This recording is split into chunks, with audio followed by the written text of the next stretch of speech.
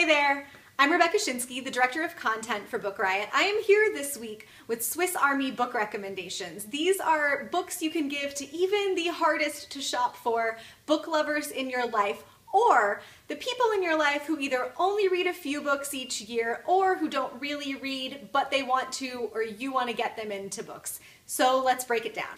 Okay, first up is She Matters, A Life in Friendships by Susanna Sonnenberg. This is the book that you buy for your best friend, your sister, your mom, the aunt that you're really close to, any woman who's been important in your life even if the relationship is not a perfect relationship all the time.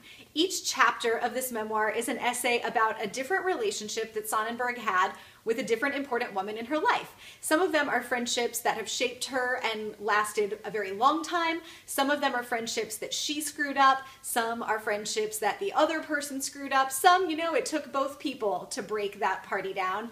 And all of these pieces are so thoughtful. This is a really great look at the power of relationships that women have with other women and all of the different shapes and forms that those can take in our lives and the different purposes that they serve as we age and as the things that we need at different stages in our lives change.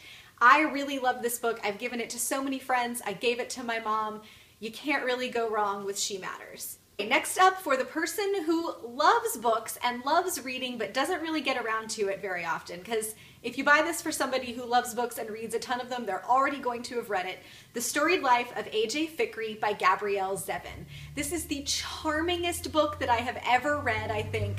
It's about a man named A.J. Fikry who lives on a small island in the Northeast. He's having a really bad year. His wife has died, his bookstore's sales are way down, he doesn't know what he's going to do with himself.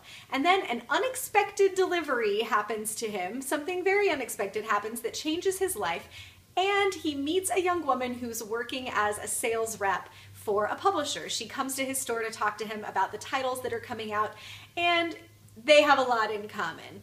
This is about books, it's about relationships, it's about that dream that all of us are nursing inside of moving somewhere quiet and opening a bookstore and just living out our lives surrounded by books and the people who love them.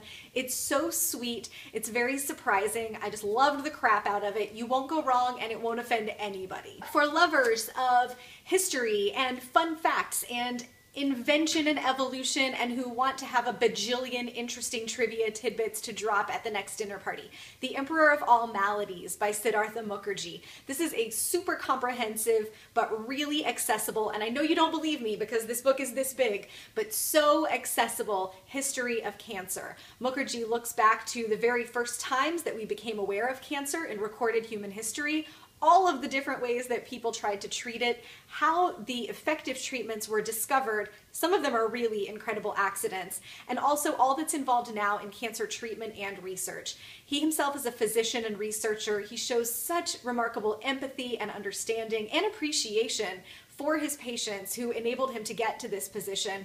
I know you're thinking that you don't want to read a like 700 page book about the history of cancer, but I promise you, you do, and so does someone in your life. This book is excellent. For feminists, both budding and established, you will not do better than Bad Feminist by Roxane Gay. This is a hilarious, thoughtful, so smart collection of essays. Some of them are cultural criticism. We get to read uh, Gay's reviews of popular movies and music and TV, and some of them are more political theory, feminist thought kinds of pieces. The title comes from the fact that Roxane Gay was realizing if you set out to be a perfect or a good feminist, you're gonna fail every time. All of us have weaknesses, all of us have shortcomings, we are inconsistent, everybody's fave is problematic, as the internet likes to tell you. So we can strive to be bad feminists. We can hold feminist values, we can fight for equality, we can do the things that matter, but we can maybe also like hip hop songs that aren't great towards women some of the time because Humans are complicated, and that's okay. It's better to strive imperfectly than to not strive for the thing at all. Whoever you give this book to will laugh, they'll think, they'll be exposed to some new ideas. They and you probably won't agree with everything, but you're not supposed to. The whole point is to be thinking about it and asking the questions, and that's exactly what Roxane Gay will help you do. Last but not least, this is for the food and travel lovers that you are shopping for. It's Life is Meals, a food lover's book of days by James and Kay Salter. James Salter, the renowned and one of my my favorite American novelist who recently passed away. When the Salters were first married, they bought this leather journal that they kept in their kitchen where they wrote down their favorite recipes, they kept records of places that they ate when they were traveling, great meals that they had, dinner parties that they threw with notes like made the lasagna and Jerry ate four portions, so that they could have a memory, but also so that they could refer back to all of this food that was meaningful in their lives. This book is a compilation of all of those things, those experiences and those recipes and those meals and those memories from throughout their lifetime together. And there's one entry per day. So you can see, like, on March 3rd, they're talking about first tastes, and on March 4th, they're talking about chefs.